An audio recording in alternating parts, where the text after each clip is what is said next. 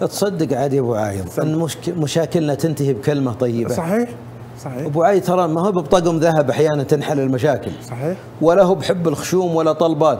كلمة طيبة ولو رجع وهي مربط نشناطها. أنا أقص لك قصة. امرأة رجل يقول أني في يوم الجمعة الضحى تطاقيت وياها على الفطور وعلى الشماغ ما سوتها. وتطاقينا يقول طلعت حتى الماء ما شربته. أصلي قلت اربط شناطس لين نرجع؟ يقول رحت بس بصلي. يقول وجهي أوقف عند جامع ناقة ما أبي حتى ذا المسجد اللي يعرفني فيه خاف يمسكني أحد يسلم علي ثم أتأخر من قرشعتها لهلها بشيلها. أعوذ بالله من الشر متحمل. يقول وأروح الحي ثاني وألبق وأدخل. إلين الخطيب يخطب عن فضل الاستغفار.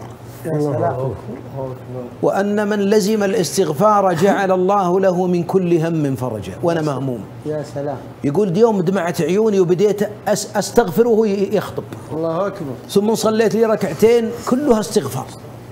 رفعت يديتي قلت أستغفر الله أستغفر الله أستغفر الله. نعم. الذي لا إله إلا هو الحي القيوم اتوب إليه.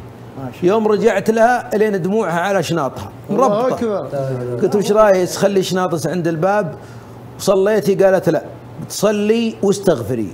قالت وش دخل الاستغفار؟ استغفر الله. قال أنا يوم استغفرت في صدري برد وسلام. وراح. حسيت براحة. والله إن قدر زاد عندي والنس غليتي. الله أكبر. يوم سمعت أول مرة تسمع كلام زين. صحيح. قامت الضعيفة وتوضت استغفر الله الله أكبر. يقول والحين والله أني ما أرى في الحياة إلا هي. ما شاء الله. هي جنتي. لذلك نقول لبعضهم ترى كلمة جميلة. الاستغفار. تنهي هالجمر اللي مولعه إبليس؟ وما تستعجل.